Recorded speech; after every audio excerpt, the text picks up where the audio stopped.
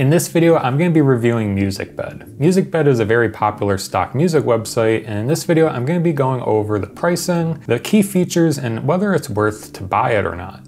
Let's dive in. Three, two, one.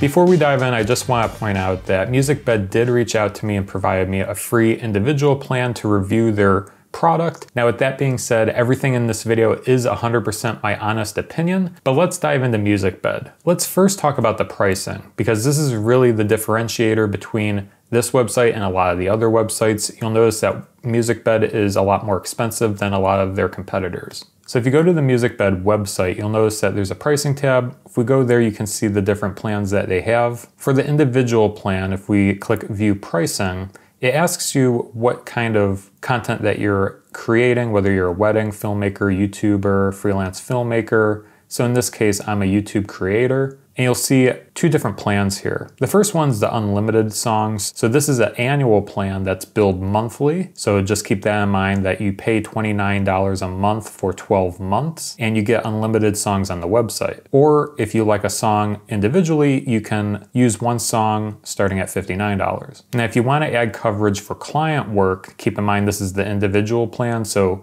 this right here is just if you're a YouTuber, if you have one single social media channel, and you're a solo content creator, say if you need coverage for client work, that's this tab over here. That would be $99 a month. Once again, it's an annual subscription billed monthly. So you'd pay $99 a month and 12 installments of $99 a month over, you know, a year and then a single song for commercial use would be 349. Now MusicBed does have a free 14-day trial, so if you want, you can sign up for a free 14-day trial, see if you like it or not, and you get up to three songs that you can license that you can keep even after the cancellation. If you're interested, there is a link down in the video description if you do want to try out MusicBed.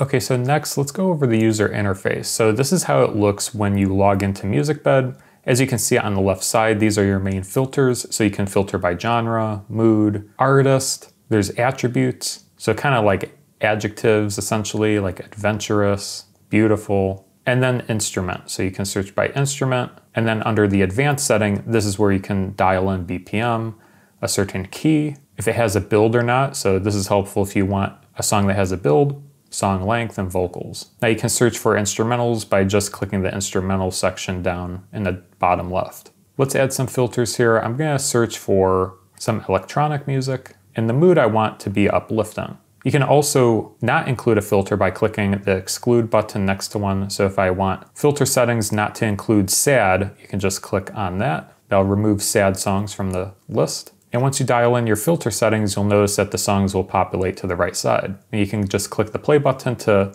start previewing the different songs.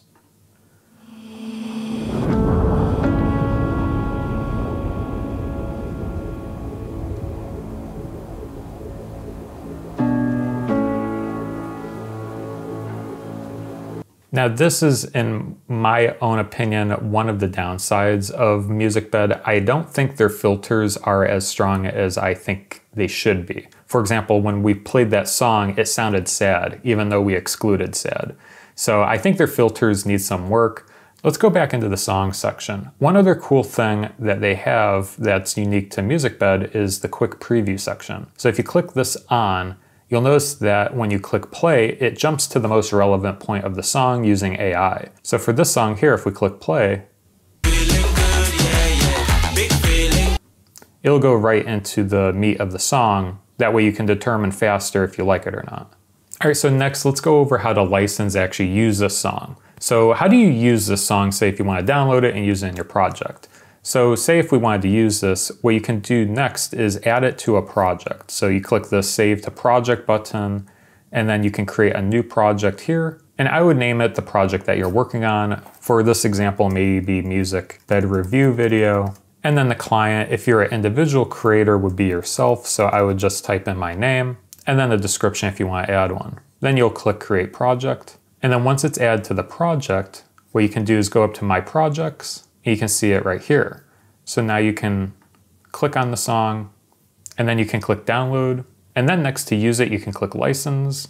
and then just click on the drop down under project name and select the project that you just created and then click next. Once you're on this screen, you just click confirm details and then submit and download. And then you can select one of the options here. I'm gonna download the WAV file. You download the WAV.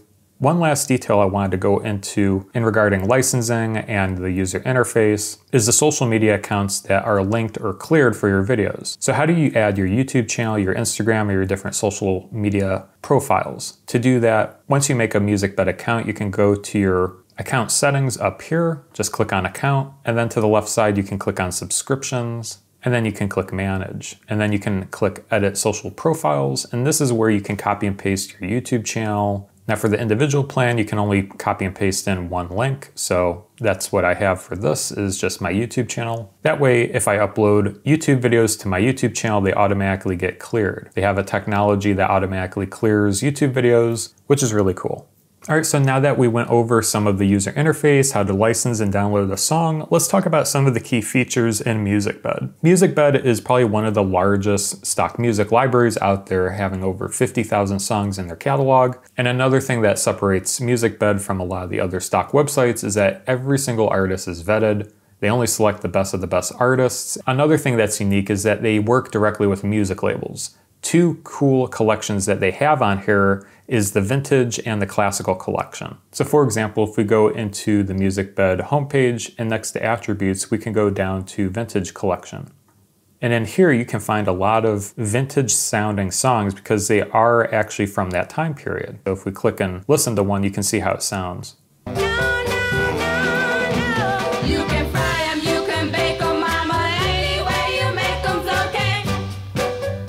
So right there, you can see it, it just sounds really authentic, very much like it came from a vintage time period there. One of the other really standout features that's actually really new to MusicBed and probably my personal favorite on the website is the AI powered search by song. So if we go back out to MusicBed's homepage, you can search by song at the top right. If we click on this, you can click and search based on an artist or song name. So a good example is I create a lot of event recap videos, sometimes from music festivals, and maybe I want something that sounds like Martin Garrix.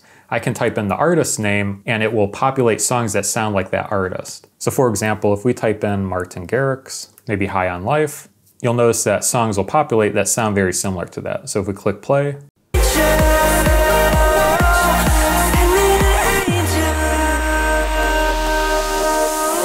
So this is a really cool feature. You know, this limits how long you have to spend trying to find a certain song.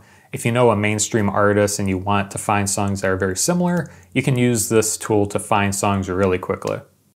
So those are the key features. What are my honest thoughts on MusicBed? To be honest, I think MusicBed is a little pricey when it comes in at $29 a month for an individual plan, and obviously it gets really expensive for being a business. I think MusicBed is great maybe on a per song level in my personal opinion. So if I needed something very specific for a project, I'd probably go on here and download the individual license or try to find something for an individual project. I think their standout feature by far is the AI powered search by song. That's really groundbreaking. I mean, that saves so much time in trying to find a song that sounds very similar to something. And you can use any mainstream artist to find songs on MusicBed that sound similar to that. But those are my honest thoughts. If you want to see other options out there, I did make a video going over a few different other stock music options. I will link one right up there if you do want to see other options out there. But let me know what you guys think of MusicBed down in the comments section below. But until next time, take care, and I'll see you guys in the next video.